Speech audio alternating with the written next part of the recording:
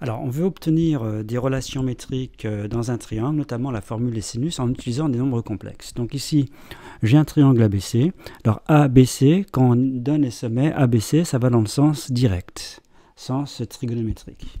Ça sous-entend ici qu'une mesure ici, la mesure principale de l'angle ABAC, par exemple, la mesure principale de cet angle-là, euh, c'est exactement l'angle géométrique. Bien, c'est l'angle géométrique qu'on note ici à chapeau. Donc A chapeau, c'est l'angle géométrique issu de A. B chapeau, pareil. C chapeau, pareil. Et on note petit a, euh, la longueur du côté opposé. Donc ici, il va falloir faire le lien entre l'angle géométrique et l'angle de vecteur. Donc on va tenir compte ici du fait que le triangle ABC est direct. Et on va faire euh, le petit rappel suivant.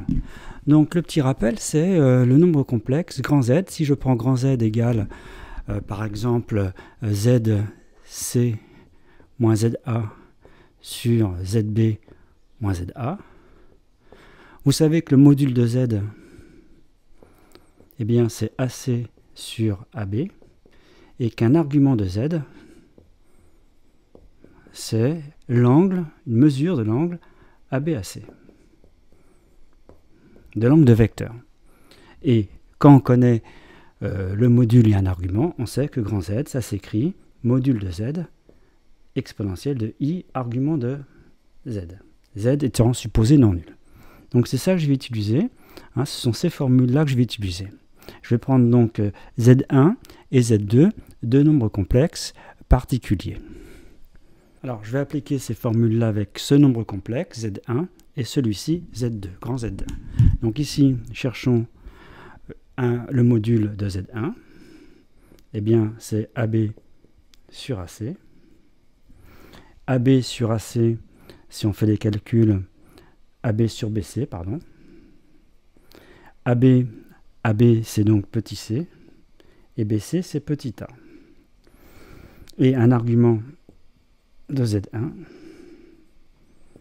un argument de Z1, c'est l'angle BC BA. C'est une mesure de cet angle-là, BCBA. Alors BC, BCBA, c'est cet angle-là de vecteur, BCBA.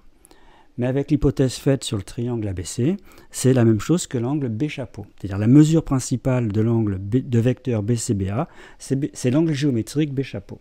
Donc ici, c'est B chapeau comme mesure principale.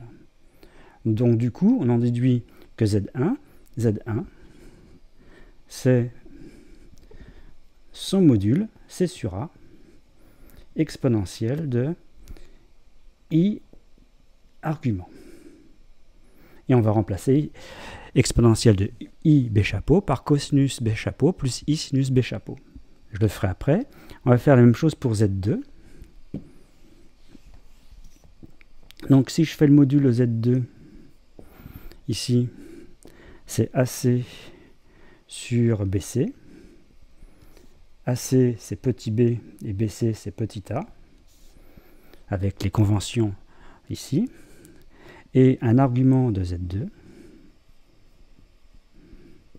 c'est l'angle CB-CA. C'est une mesure de l'angle de vecteur CB-CA. Alors CB-CA, c'est cet angle-là, de vecteur. Alors vous voyez, c'est le sens inverse, c'est le sens indirect, c'est le sens euh, contraire du sens trigonométrique.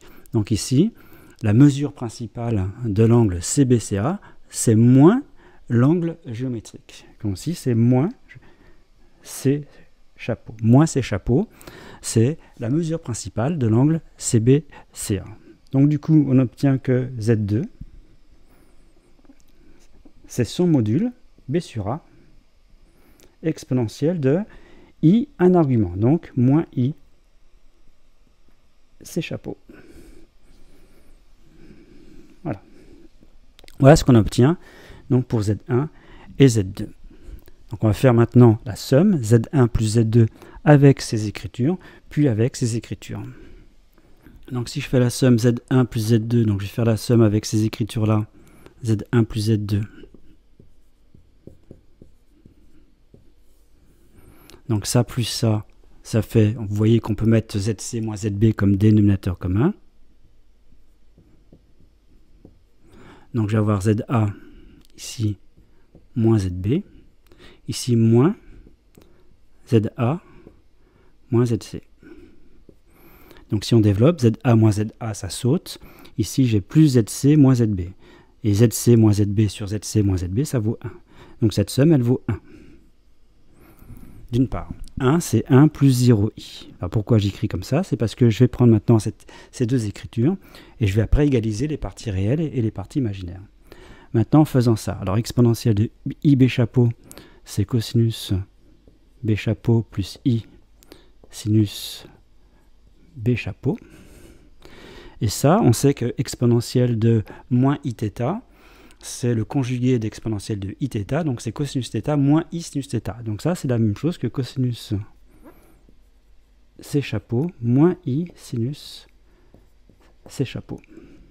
Donc si je fais la somme avec les parties réelles, donc avec la partie réelle ici, j'ai c sur a cosinus b chapeau plus b sur a cosinus c chapeau, ça c'est pour la partie réelle, plus i et la partie imaginaire, j'ai C, sur A sinus B chapeau moins B sur A sinus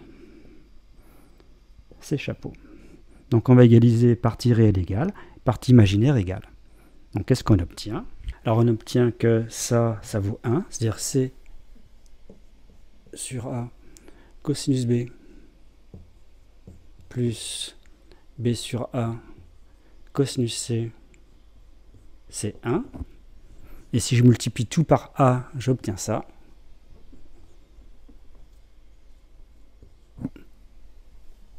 C cosinus B plus B cosinus C égale A.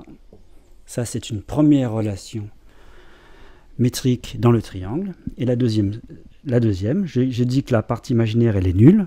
Donc ça, ça vaut 0. Et dire que ça, ça vaut 0, ça veut dire que ça, c'est égal à ça.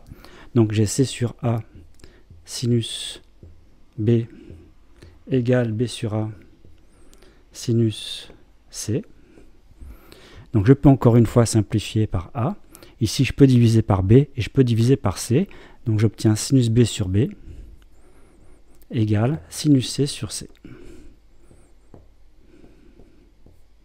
Deuxième relation métrique dans un triangle. Je vous rappelle ce qu'on avait au départ. Donc on avait ce triangle ABC euh, direct, donc on a les notations avec les, angles et les côtés, et on obtient ces relations-là. Et évidemment, on peut permuter le rôle, par exemple, de euh, A et de, euh, si je permute A et B ici, donc ici, je fais le permutation. Bon, je permute A et B, j'obtiens ça. Et je peux également permuter ici A et B.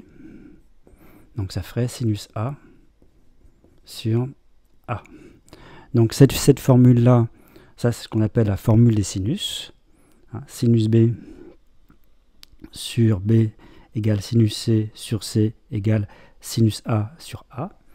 Et là, vous avez une autre relation métrique hein, qui donne par exemple un côté, ici c'est le côté petit a, en fonction de quoi? En fonction des autres côtés, B et C, et des angles, B et C. Hein. petit a, c'est euh, petit a, c'est marqué ici, euh, c'est euh, C cosinus B plus B cosinus C. Formule qui donne donc un côté connaissant les autres côtés et les angles ici adjacents.